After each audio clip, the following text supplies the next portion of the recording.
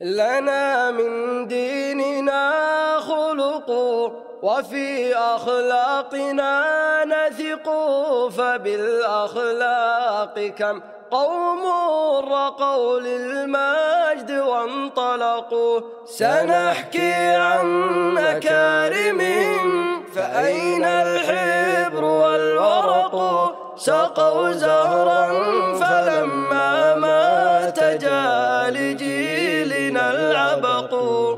فكانوا قد وفوا عهدا وكانوا إن حكوا صدقوا فكيف تظن في قوم لتقوى الله قد خلقوا؟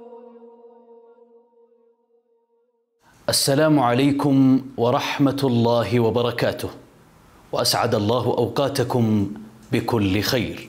عش ألف عام للوفاء وقلما ساد امرؤ إلا بحفظ وفائه والوفاء منقبة عظيمة تلزم الإنسان بأن يكون وفيا حاضرا حين يستلزم الأمر حضوره وحين تتاح له الفرصة لرد الدين لمن له فضل عليه ولا خير ولا خير في ود امرئ متلون.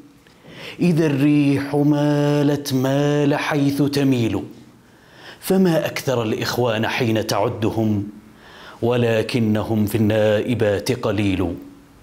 وأعظم مثال للوفاء بالعهد هو وفاء الصديق رضي الله عنه بمساندته للنبي في دعوته حتى قال رسول الله صلى الله عليه وسلم ما لأحد عندنا يد إلا وقد كافأناه. ما خلا أبا بكر فإن له عندنا يدا يكافئه الله بها يوم القيامة. وأوفى الأوفياء رسول الله صلى الله عليه وسلم فقد كان وفيا مع أصحابه ومع أعدائه ومع من أحب ومن لم يحب.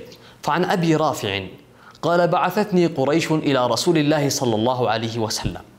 فلما رأيت رسول الله صلى الله عليه وسلم ألقي في قلب الإسلام.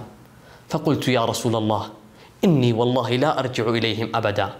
فقال رسول الله صلى الله عليه وسلم إني لا أخيس بالعهد ولا أحبس البرد ولكن ارجع فإن كان في نفسك الذي في نفسك الآن فارجع.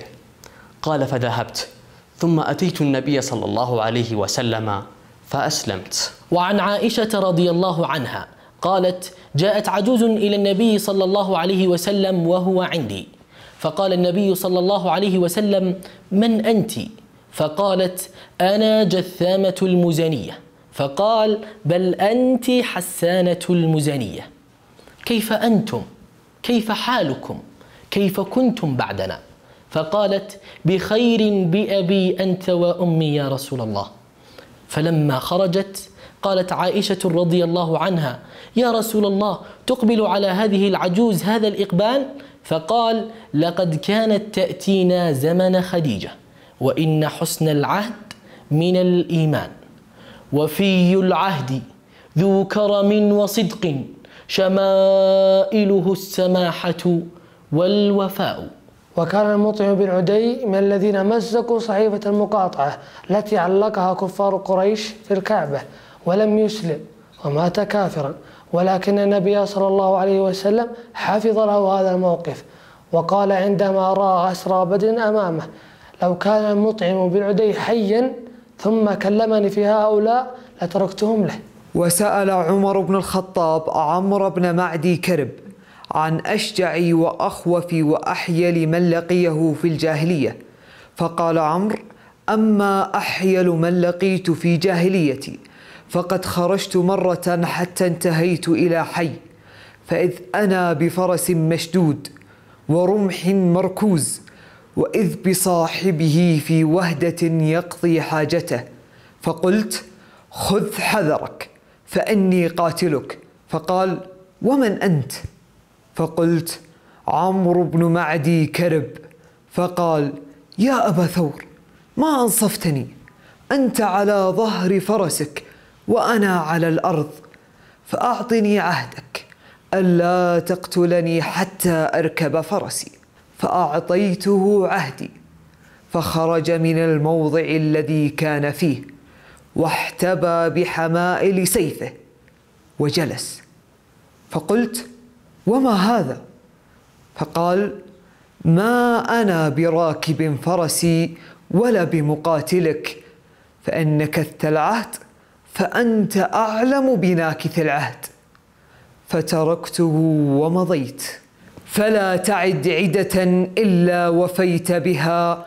واحذر خلاف مقال للذي تعد. أبلغ أخانا تولى الله صحبته. أني وإن كنت لا ألقاه ألقاه. الله يعلم أني لست أذكره. وكيف أذكره إذ لست أنساه. في غزوة بدر تم أسر عديد من المشركين وكان بين هؤلاء الأسرى أبو العاص بن ربيع وهو زوج السيدة زينب بنت رسول الله صلى الله عليه وسلم. وكانت السيدة زينب قد فارقت زوجها لإصراره على طغيانه وكفره.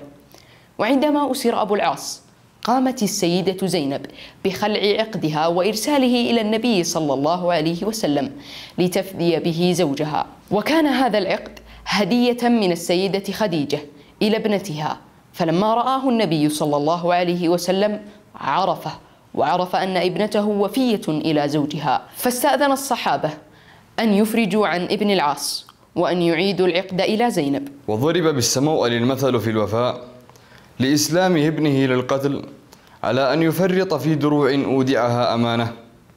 وقد أكد الرواة أن امرأ القيس الملك الظليل لما كان مطاردا من ملوك الحيرة استودع السموأل دروعا كانت ملوك كندة يتوارثونها ملكا عن ملك فطلبها ملك الحيرة وألح في تتلابها فلما حجبت عنه سار إلى السموأل فلما دهم الجيش السموأل أغلق حصن الأبلق دون من دهمه. ولكن المفاجأة العظيمة أن أحد أبناء السموأل كان خارج الحصن في الصيد.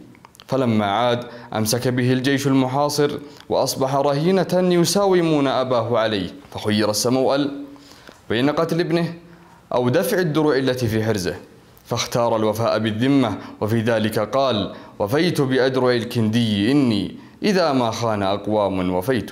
وعن حذيفة بن اليمان رضي الله عنهما قال قال ما منعني أن أشهد بدرا إلا أني خرجت أنا وأبي حسين فأخذنا كفار قريش قالوا إنكم تريدون محمدا.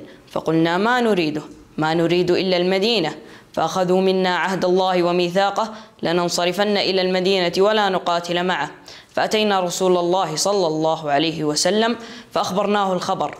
فقال انصرفا نفي لهم, نفي لهم بعهدهم ونستعين الله عليهم.